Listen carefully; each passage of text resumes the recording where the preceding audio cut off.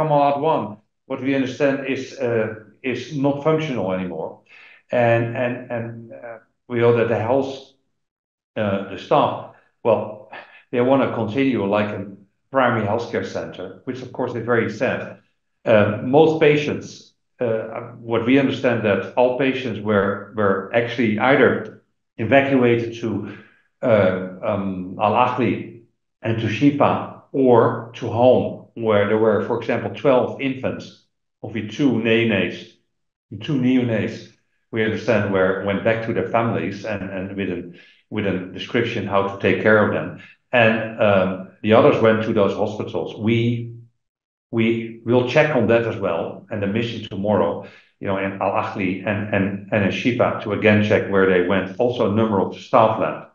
But it's of course that we, as I said, we cannot afford to lose any hospitals.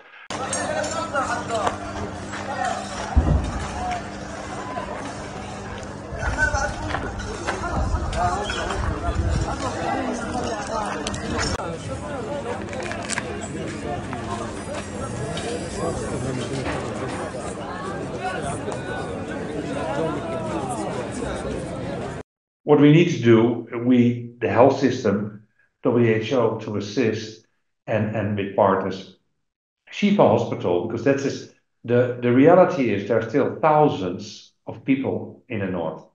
There's all kind of estimates between two and, even 600,000 people. And there need to be a number of uh, uh, health facilities functional. And Al Shifa is, of course, should be the main one of the main one, and, and currently minimum functional. So how can we get it back to at least a first level referral hospital, and then maybe in the future even a second level, etc. Reviving Shifa is not just a health issue. There is an estimated 70,000 IDPs on hospital grounds. And they said IDPs everywhere within the hospital, within the within the what is it the courtyard of the hospital, everywhere. And of course, if you want to make sure that the hospital functions again, uh, there should be an, an um, there should be a shelter uh, and non-food items, etc., being provided to those um, uh, well to those IDPs, and, make sure that they have a place to go in the neighborhood where they can sit, be safe.